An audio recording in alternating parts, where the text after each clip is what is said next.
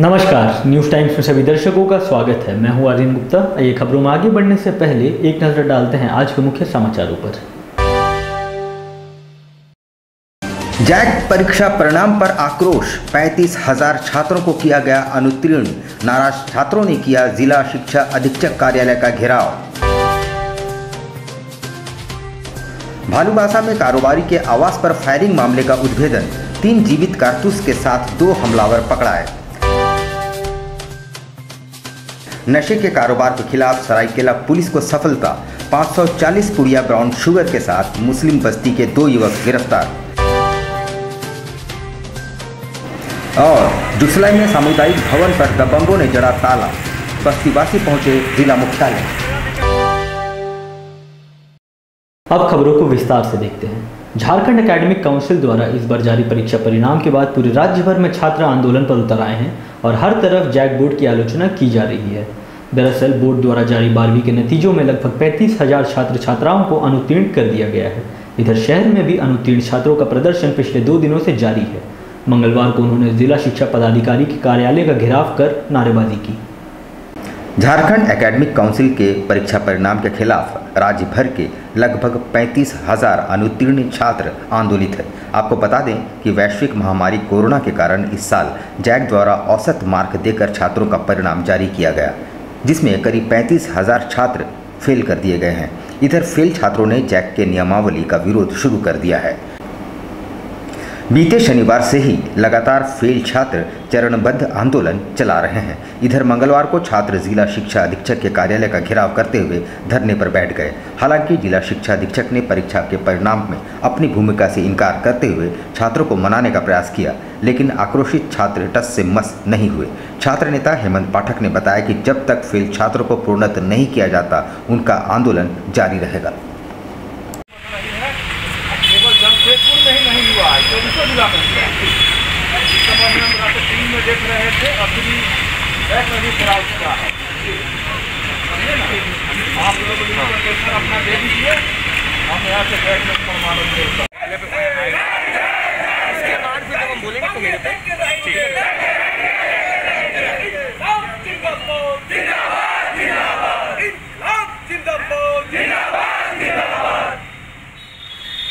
जिला शिक्षा अधीक्षक के कार्यालय पे। अखिल झारखंड छात्र संघ के बैनर के तहत कुल्हान विश्वविद्यालय के अंतर्गत आने वाले कुल्हान प्रमंडल के अंतर्गत आने वाले विभिन्न विभिन्न महाविद्यालयों से छात्र की उपस्थिति हुई है।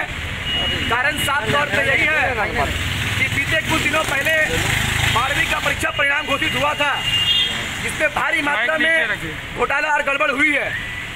जो बच्चे इलेवेंथ में पास किए हैं वैसे बच्चों को ट्वेल्थ में फेल कर दिया गया है। आखिर हम यह जानना चाहते हैं कि आपका मार्किंग सिस्टम का आधार क्या है? आपने किस आधार पे बारहवीं में छात्रों को फेल किया है, जबकि वे छात्र ग्यारहवीं की परीक्षा में उत्तीर्ण हुए थे?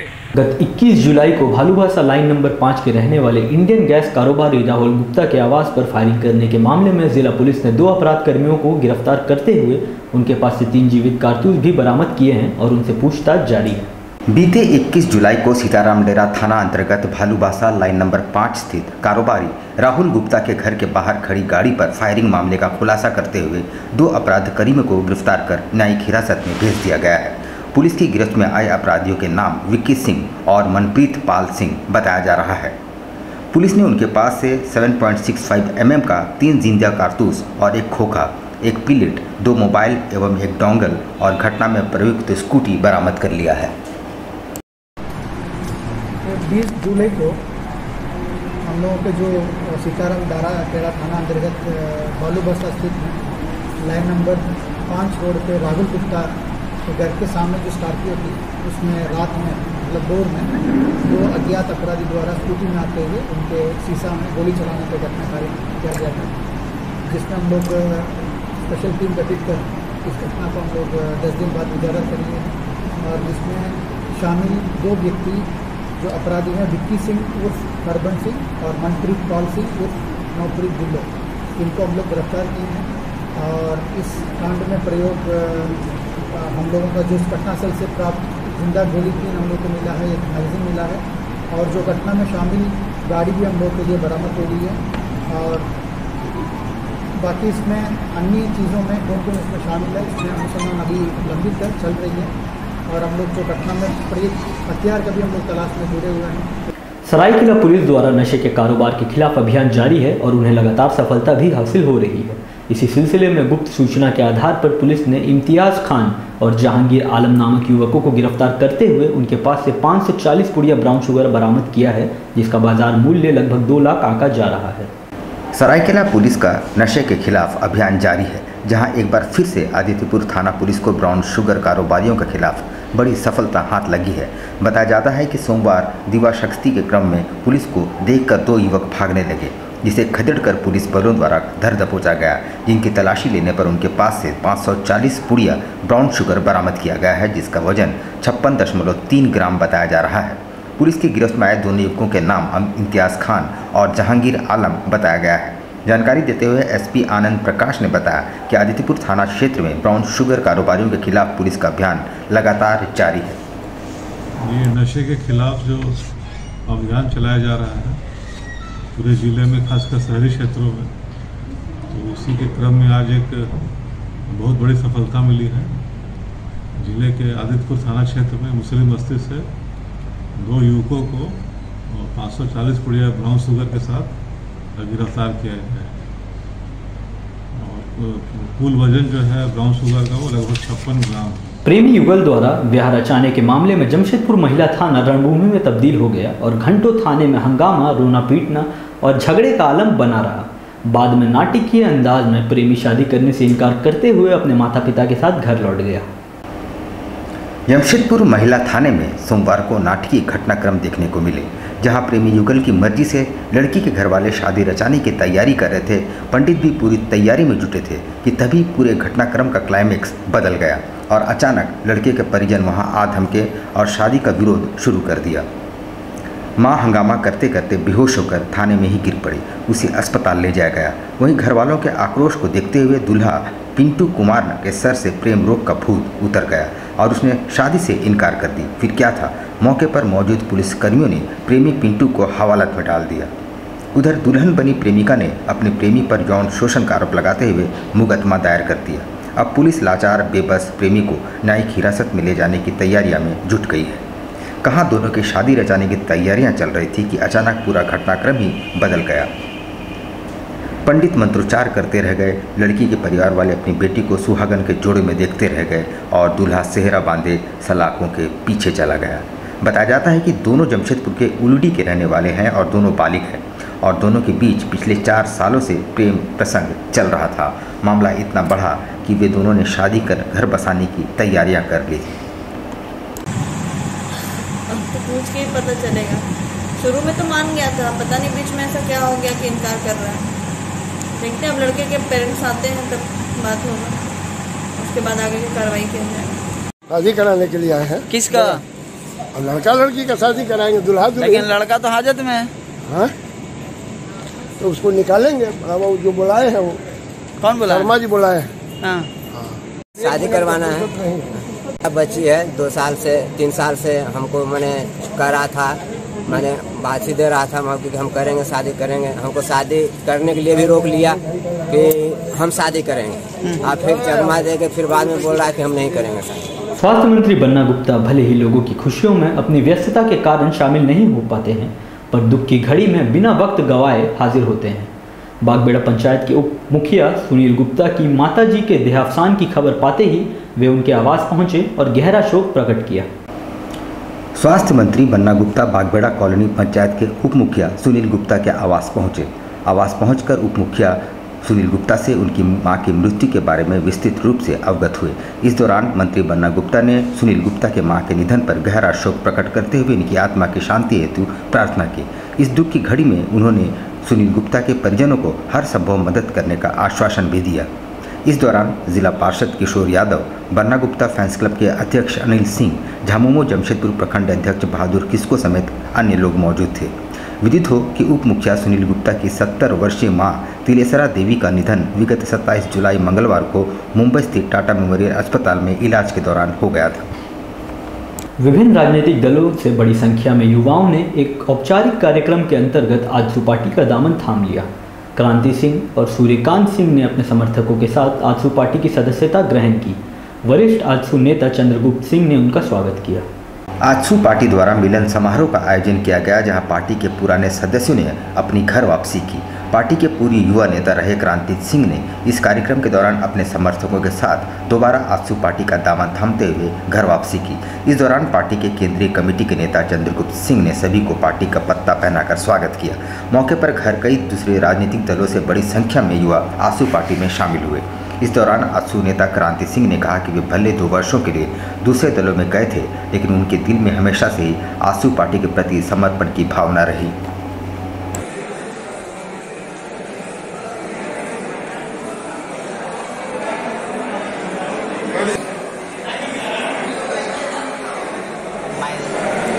पार्टी ज़रूर छोड़ करके गया था मगर आजसू हमेशा मेरे दिल में रहा है सुदेश महतो एवं जमशेदपुर में भी है केंद्रीय कमेटी सबों पे मेरा आस्था रहा है। और माननीय चंद्रगुप्त सिंह के आज एक रीत में हम लोग शामिल हो रहे हैं। और उम्मीद है कि जो भी हम लोगों के बीच में, जो भी जिला कमेटी या यहाँ पे जो भी गलतियाँ इससे पहले हमसे हुई है, अब नहीं होगी। बागबेड़ा पंचायत के उप मुखिया सुनील गुप्ता की माता स्वर्गीय तिलेसरा देवी की याद में बिष्टुपुर स्थित स्वदेशी जागरण मंच के कार्यालय के समक्ष सड़क के किनारे फलदार पौधों का रोपण किया गया, जिसमें बड़ी संख्या में पंचायत सदस्य मौजूद थे। बागबेड़ा कॉलोनी पंचायत के उप मुखिया सुनील गुप्ता की माँ स्वर्गीय तिलेसरा देवी की याद में बिष्टुपुर स्थित स्वदेशी जागरण मंच के कार्यालय के सामने मुख्य सड़क के किनारे आम नीम कदम का जाली सहित फलदार वृक्ष लगाए गए। इस मौके पर अतिथि के रूप में उपस्थित भाजपा, ओबीसी सेल के जिला अध्यक्ष धर्मेंद्र प्रसाद भाजपा महिला मोर्चा के पूर्व जिला अध्यक्ष नीरू सिंह एवं उप मुखिया सुनील गुप्ता ने संयुक्त रूप से पौधारोपण किए। इस मौके पर धर्मेंद्र प्रसाद एवं नीरू सिंह ने संयुक्त रूप से लोगों को पर्यावरण से बचाव हेतु फलदार वृक्ष अधिक से अधिक लगाने के प्रति आह्वान किया। बन्ना गुप्ता फैंस क्लब द्वारा मानगो क्षेत्र में कैंप लगाकर वैसे लोगों के राशन कार्ड, वृद्धा पेंशन और आधार कार्ड बनाए जा रहे हैं, जो किसी कारणवश केंद्रों तक पहुँचने में सक्षम नहीं हैं। स्वास्थ्य मंत्री और जमशेदपुर पश्चिम के विधायक बन्ना गुप्ता के निर्देश पर कांग्रेसियों ने मानगो में विशेष कैंप का आयोजन किया, जहाँ कैंप के माध्यम से ज़रूरतमंद लाभुकों से वृद्धा पेंशन, दिव्यांगता पेंशन, किसान क्रेडिट कार्ड, आधार कार्ड और राशन कार्ड के लिए आवेदन लिए। जानकारी देते हुए कांग्रेस नेताओं ने बताया कि इस शिविर के माध्यम से 200 से ज़्यादा ज़रूरतमंदों को सरकार द्वारा दिए जाने वाले सुविधाओं का लाभ दिलाया जाएगा। वैसे समाचार लिखे जाने तक लगभग 100 से ज़्यादा ज़रूरतमंदों ने कैंप में आवेदन जमा कर दिए थे। बताया गया कि ये शिविर आगे भी लगाए जाएँगे। सरकार के द्वारा है। ये माननीय मंत्री गुप्ता जी प्रयास कर रहे हैं कि अपने क्षेत्र के लोगों को ज़्यादा से ज़्यादा लोग जो वांछित लोग हैं, जो जरूरतमंद लोग हैं, जिनकी ज़रूरत है पहला क्राइटेरिया देखिए उसका साठ साल पूरा होना चाहिए। के निर्देशानुसार आज हम लोग मानगो में विशेष करके वृद्धा पेंशन और राशन कार्ड का कैंप लगाए हुए हैं। जो नागरिक जन दो ऑफ़िस में दूर है नहीं पहुँच पा रहे हैं उसके लिए जगह चुनित करके हम लोग यहाँ पर आज वृद्धा पेंशन राशन कार्ड और आधार कार्ड के लिए यहाँ पर विशेष कैंप किसी नागरिक को जो असुविधा ना हो। कितने लोगों का लक्ष्य रखे? हैं कितने लोगों का आज तो अभी तक हम लोग सौ आदमी पार कर दिए दो सौ आदमी का लक्ष्य है। बागुनहातू में आदिवासी हो समाज द्वारा विश्व आदिवासी दिवस के मौके पर आगामी 8 अगस्त को महा रक्तदान शिविर का आयोजन किया जाएगा तथा साथ ही वारंग शिति लिपि पर समाज के लोगों को जागरूक किया जाएगा। आदिवासी हो समाज द्वारा अगस्त को विश्व आदिवासी दिवस के मौके पर वृहत रक्तदान शिविर का आयोजन किया जाएगा। जहाँ 200 इकाई से ज़्यादा रक्त संग्रह का लक्ष्य रखा गया है। इसके अलावा 9 अगस्त को वारांग क्षितिलिपि पर एक कार्यशाला का भी आयोजन किया जाएगा। जिसमें समाज के लोगों को वारांग क्षितिलिपि के बारे में विस्तृत जानकारी दी जाएगी। अगस्त क्रांति में विश्व आदिवासी दिवस क्रांति दिवस के अवसर पर आदिवासी हो समाज बागुन हाथू के द्वारा सबसे पहले आदि विश्व आदिवासी दिवस के पूर्व में 8 अगस्त को महा रक्तदान शिविर का आयोजन इसी प्रांगण में किया जा रहा है, जो कि प्रातः 9 बजे से अपराह्न 3 बजे तक चलेगा।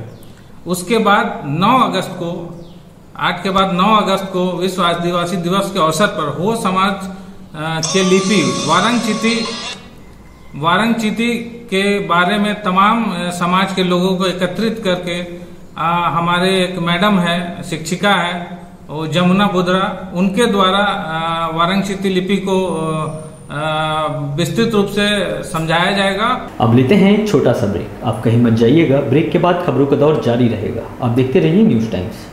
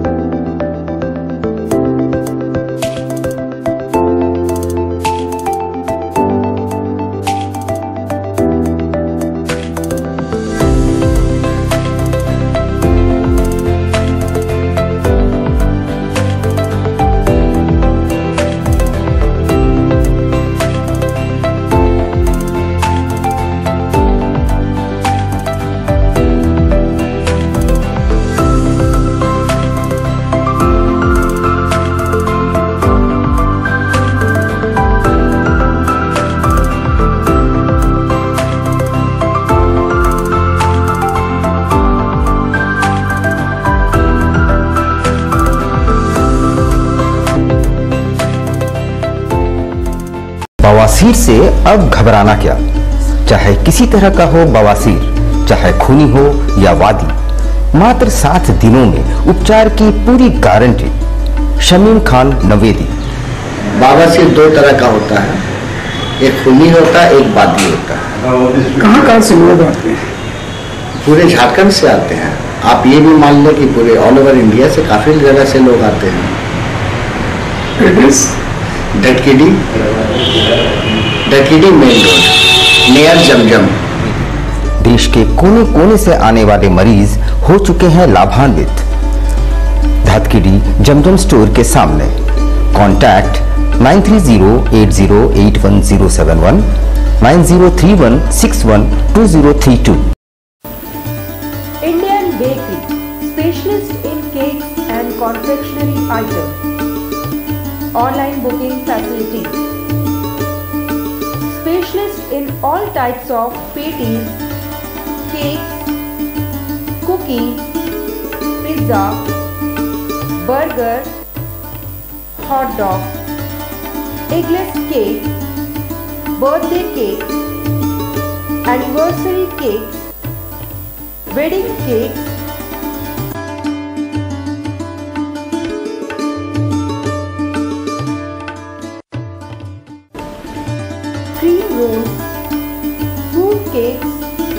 all types of biscuits, marriage anniversary cakes, and school order specials.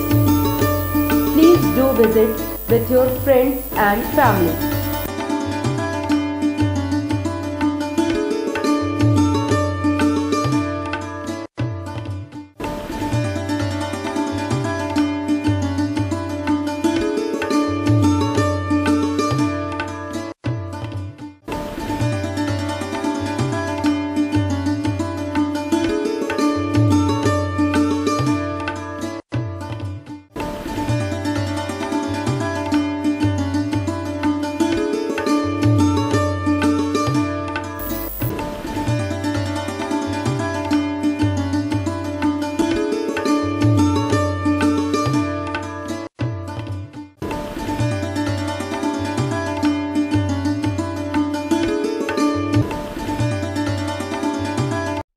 शिक्षा निकेतन सीबीएसई एफिलिएटेड आपके बच्चों के सुनहरे भविष्य का दूसरा नाम, गायत्री शिक्षा निकेतन। शिक्षा के क्षेत्र में उत्कृष्ट प्रदर्शन के लिए राष्ट्रीय एवं राज्य सरकार से सम्मानित विद्यालय, जहाँ होता है आपके बच्चों का सर्वांगीण विकास।